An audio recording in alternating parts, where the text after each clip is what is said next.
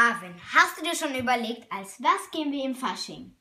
Hm, weiß ich nicht. Hm, das habe ich mir schon gedacht. Zum Glück habe ich das vorbereitet. Arvin und ich sind große Manga-Fans. Überhaupt lieben wir alle möglichen asiatischen Fantasiefiguren. Unser absoluter Favorite ist aber eine berühmte japanische Figur, Hatsune Miko. Sie hat wunderschöne blaue Haare.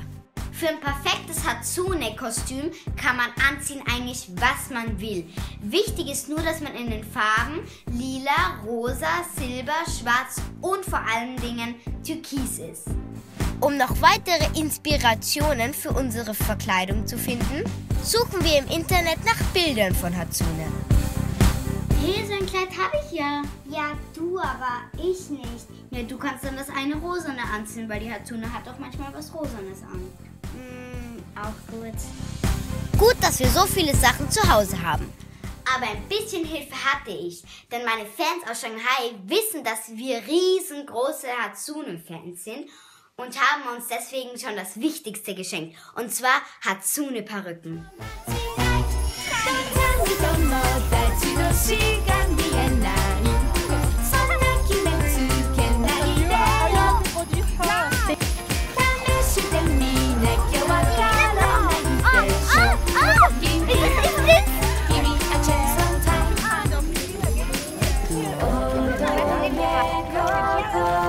Die ist kurz, oder?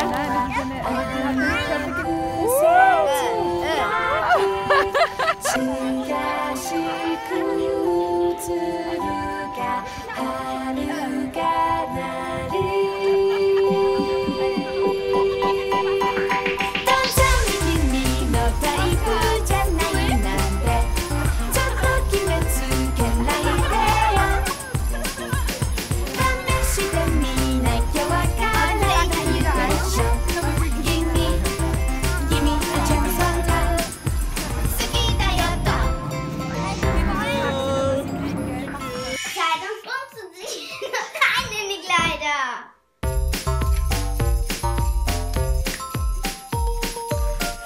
Arvin ist schnell angezogen.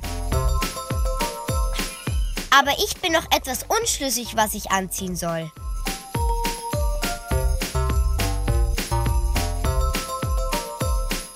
Armin, was meinst du? Ich finde das Klavierkleid am besten. Wirklich? Das Klavierkleid? Genauso aus wie das da. Meinst du? Na, dann probiere ich das mal an.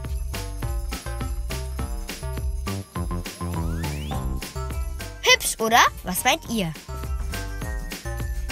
Und jetzt kommt die Perücke. Halt, noch nicht. Zuerst wird geschminkt. Die asiatischen Fantasy-Figuren haben immer besonders große Augen. Ist das euch schon mal aufgefallen? Solche wollen Arvin und ich natürlich auch haben.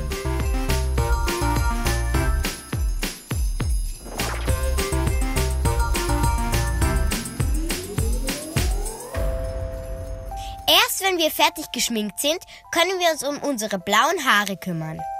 Jetzt kommt das Wichtigste, und zwar die Zöpfe.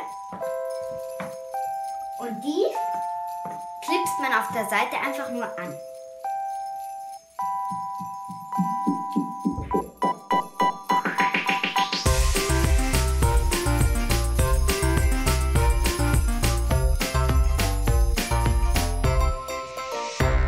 Und ich denke, dass wir jetzt fertig sind. Jetzt sind wir echte Hatsunen.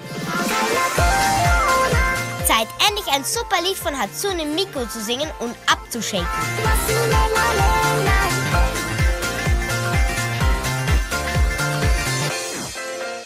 Als was geht ihr denn im Fasching?